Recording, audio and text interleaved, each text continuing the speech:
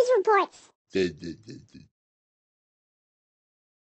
Number 10. Glow in the dark toy that makes this sound.